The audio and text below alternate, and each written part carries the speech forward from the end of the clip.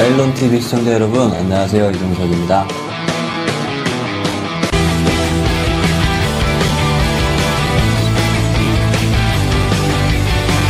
할기 열심히 촬영하고 있고요. 작년에 찍었던 영화 두 편이 올해 개봉을 해서요.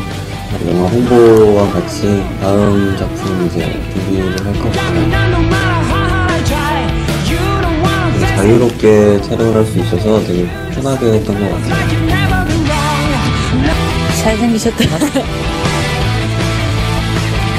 조금 어색한 감이 있지 않나 싶은데요.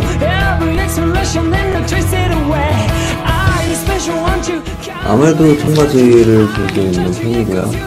편하게 입을 수 있으니까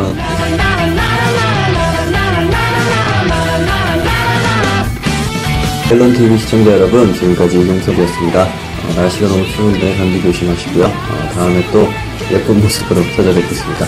감사합니다.